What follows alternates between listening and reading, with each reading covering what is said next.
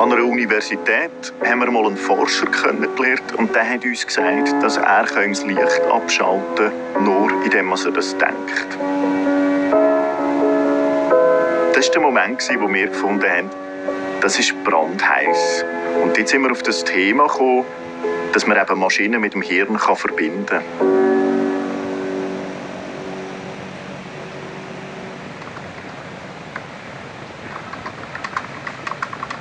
Mein Name ist Martin Katriner. Ich leite bei Samsung das Team Corporate Affairs. Mit dem Team fokussiere ich mehr auf die Global Megatrends. Das bedeutet, wir müssen herausfinden, was ist übermorgen und was das für Auswirkungen auf unser Zusammenleben in der Gesellschaft bedeutet. Bei Samsung sind wir der Überzeugung, dass Technologie für alle gemacht ist, egal was du für einen Hintergrund hast. Wir haben uns auf die Suche gemacht in der Schweiz nach einem Projekt, wo wir mit Menschen mit Behinderungen können anwenden können, wo wir aufzeigen können, was Technologie im Alltag von so Menschen kann bewirken kann. Und dabei sind wir auf das faszinierende Projekt gestoßen von der Verbindung vom Hirn zu einer Maschine.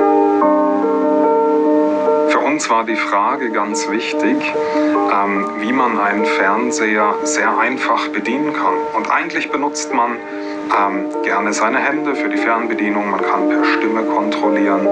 Es gibt viele Optionen und immer ist das Gehirn am Anfang von jeder Intention der Steuerung.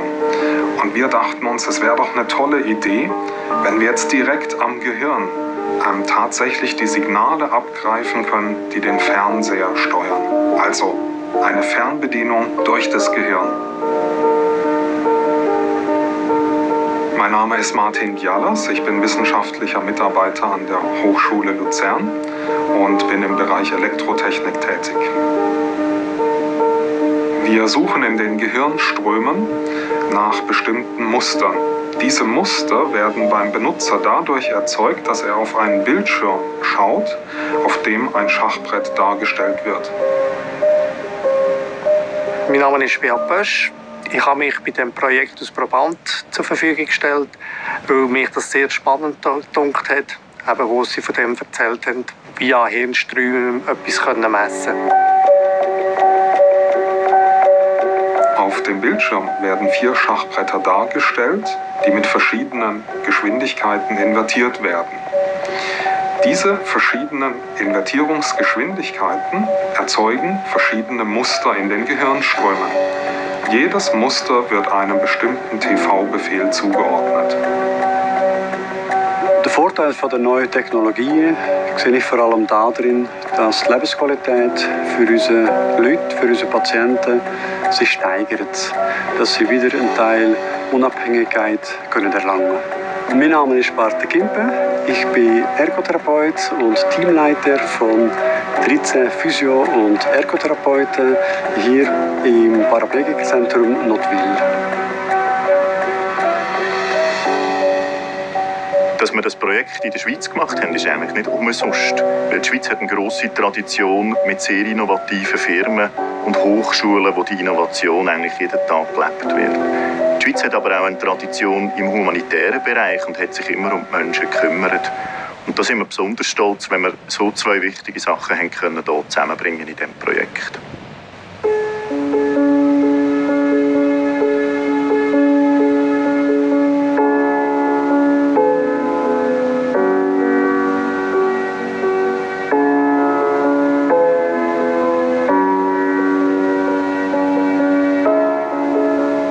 Für mich war es ähm, eben heute das erste Mal, gewesen, dass ich an einem Fernseher Bilder bewegen via meinen Hirnströmen. Und das ist äh, wirklich, ich hatte wirklich heute ein Aha-Erlebnis, weil bis jetzt ähm, haben wir das gar nicht so richtig können vorstellen und jetzt innerhalb von einer Sekunde konnte ich ein Bild wechseln. Ich konnte einen Ton ausschalten, einen Ton einschalten und ich denke, für jemanden, ich bin zwar selber im Rollstuhl und kenne gewisse Einschränkungen, aber jemand, der sich nicht mehr, mit, also nicht mehr mitteilen kann, ist das wahrscheinlich eine grosse Welt, wo, wenn das einmal ausgereift ist, die für ihn aufgeht und für ihn selbstständiger macht, ein Stück weit.